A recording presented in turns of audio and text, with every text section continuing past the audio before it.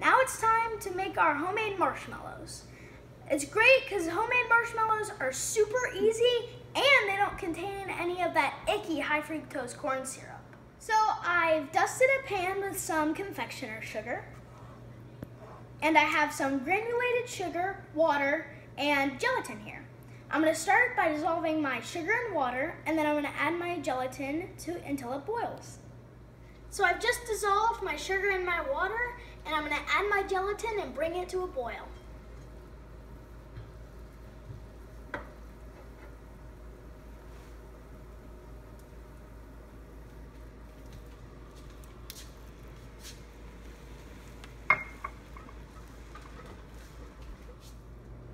I'm gonna transfer this to my mixing bowl and then I'm gonna let it cool and then I'm gonna beat it for 10 minutes.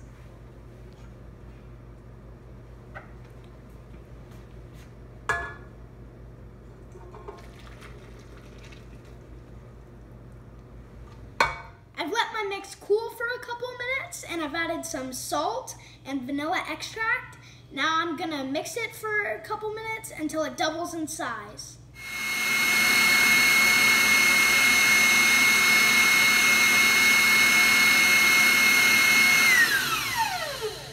These look great. Get a shot of them. Now, since they've doubled in size and look just like marshmallows, mmm, they're delicious.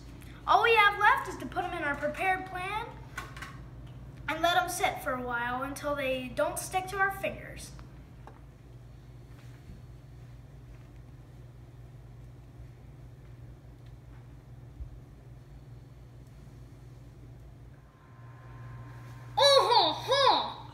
That is left now is to dust the top of our marshmallows with some powdered sugar so they don't make too much of a mess when we cut them.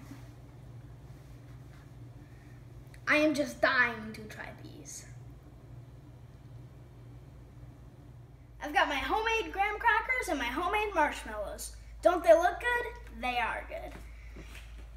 So I just I just cut my marshmallows and then dusted the edges with some powdered sugar so they won't stick together. Now I'm ready to head out to the bonfire.